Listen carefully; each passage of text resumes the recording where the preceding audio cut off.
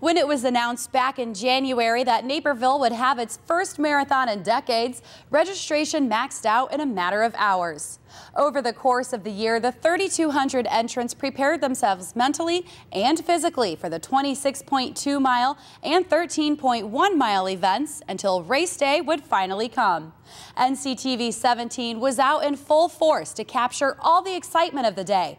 Our own Kevin Maychek has a look back at the marathon and an in-depth peek behind who took home the gold. With a time of 2 hours, 34 minutes, and 25 seconds, Jonathan Moscoti was the first runner to cross the finish line for the Edward Hospital Naperville Marathon.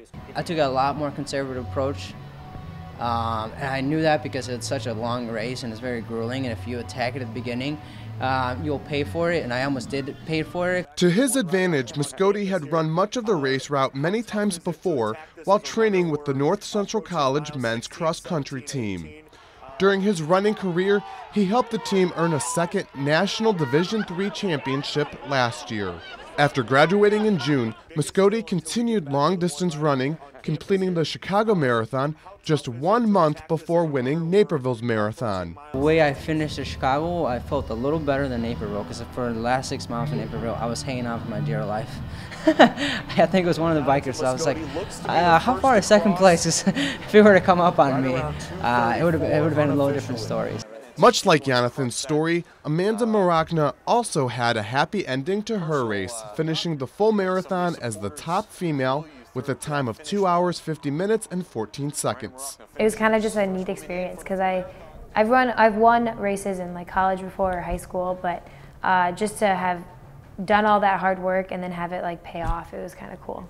The 2006 Neuqua Valley graduate ran cross country there and at Miami of Ohio.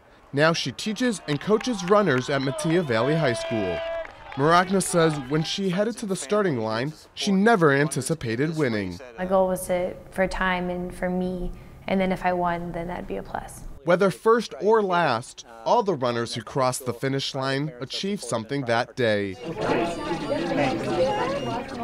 and many later went to Dick Pond's Athletics in Lisle, so they would forever have a memento to prove it. A lot of times when you get this big, you know, accomplishment in your life, you get, you know, marathon medal, you want to have some kind of keepsake on it, so we did the marathon engraving.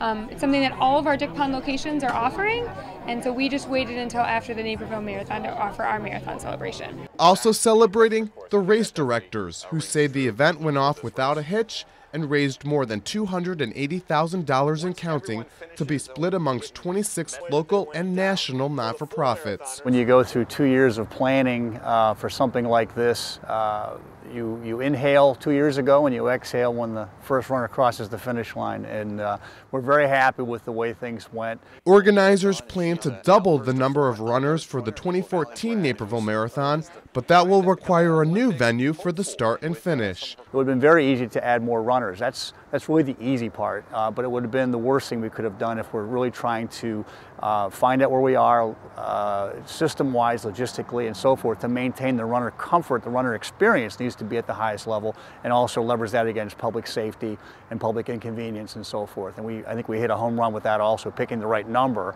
And for next year's race, they've already picked November 9th as a likely date. I'm Kevin Maychek for Naperville News 17. NCTV 17 will rebroadcast highlights of the marathon through November 22nd. Check out nctv17.com for air dates and times.